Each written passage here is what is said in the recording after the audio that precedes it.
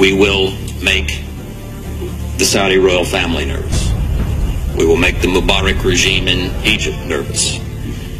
And if we succeed in freeing Iraq, and then begin to turn our attention to the Syrias and the Libyas and the other rogue states and exert pressure for them to change, the Saudi royal family and the Mubarak regime, regime will come to us and they'll say, very, very nervous.